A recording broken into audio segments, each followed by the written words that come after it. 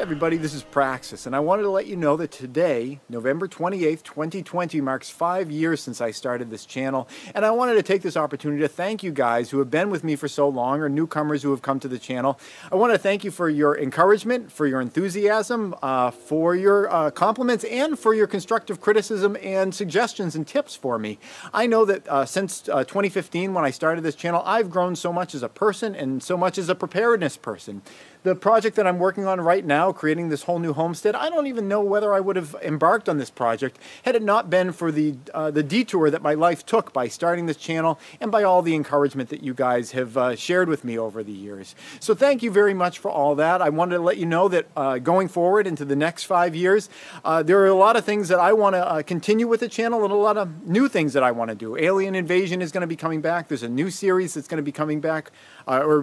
going to be shared with you guys before before Alien Invasion, and a lot of uh, the comedy uh, pieces that I used to do uh, in the uh, on this channel before I got really tied up with this thing and I don't didn't have as, quite as much time as I used to. A lot of that's going to be coming back and I look forward to the next five years with you guys, both uh, you know from the camaraderie and the um, uh, you know, kind of reaching across the aisle that uh, uh, happens a lot here. As you can see to your left, I drive a Prius. I'm pretty darn liberal, but there are a lot of conservative people that, uh, you know, watch this channel, and I really appreciate the different points of view that uh, get thrown out, especially when people are able to communicate with each other, discuss ideas, and grow from it mutually on both sides. So thank you very much for the last five years, and I look forward to the next.